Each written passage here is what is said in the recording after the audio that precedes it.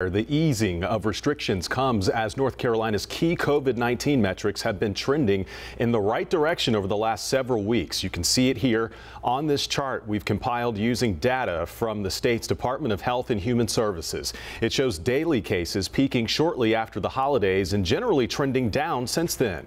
Hospitalizations and positive test rates are also down. Today's action is a show of confidence and trust but we must remain cautious.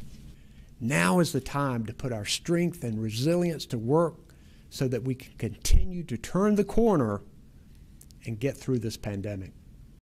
WCNC Charlotte's Kendall Morris joins us live to break down the local impacts of today's announcement. Kendall, this is the first time bars can open indoors in almost a year. Yeah, Fred, you know, places like Jeff's Bucket Shop can now stay open and serve alcohol until 11 p.m. with capacity restrictions starting Friday night. Now, business owners I've spoken to are cautiously optimistic this is a move back toward normalcy. Stove, work table. There's a new kitchen at Jeff's Bucket Shop. We had to buy, you know, pots and pans and utensils and a fryer. The venue was licensed as a private bar. But as the owners watched news conference after news conference, the space remained shut down. Private bars were left out in the cold.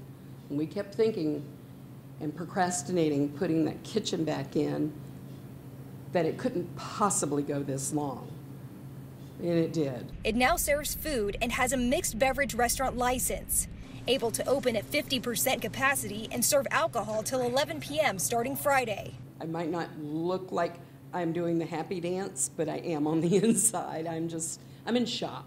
I'm just in shock that it's actually happening. Dilworth Neighborhood Grill rolled with the punches of the pandemic, filling takeout orders and adjusting seating arrangements. But the owner says the alcohol curfew at 9 p.m. put a damper on business. There's only so much creativity that you can do, uh, you know, closing at 9 o'clock. So this is gonna this is gonna be a big thing. The restaurant announcing on its noteworthy sign today Alcohol sales moving to 11 p.m. Alcohol is a, is a, a bigger profit driver than the food. So we're looking forward to that. Business owners looking forward to restrictions being eased. Should anything happen again, then, you know, we're prepared for it. But bracing for what 2021 could bring their way.